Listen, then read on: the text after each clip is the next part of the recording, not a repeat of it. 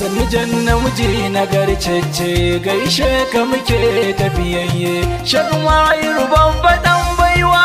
Sannu jan namiji na garcece gaishe ka muke tafiyayye. Shagma ruban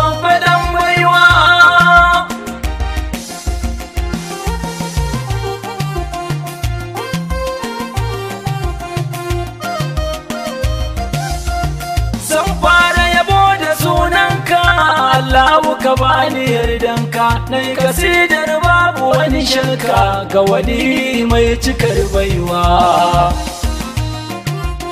Kai salati gun masoyinka mai kyan siffa madubinka. Na saman dukan halittunka sanya du mabiyansa 'yan baiwa. Na zo kun shehu tijani in mance shehu wane ni. Har bayi gausu zamani inuwar ku ake da shan baiwa. Sanadin namiji na garcece gaishe ka muke tafiyayye shakma yi ruban faɗan baiwa. Masani na Allahu mai nuni abin Allahu tafiyar ka cike da san shehu mai kirki mai halin baiwa.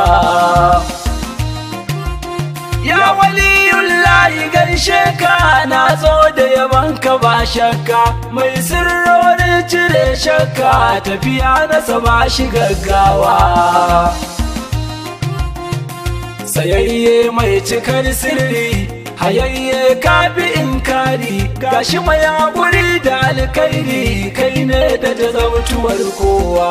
Sanadin namiji na garcece gaishe ka muke tafiyayye. Shakma yi ruban faɗan baiwa ya sirrin shehu barmama aikin ka cike cikin yamma jarumi kake mai yawan hidima. Madadin kai na isar kowa.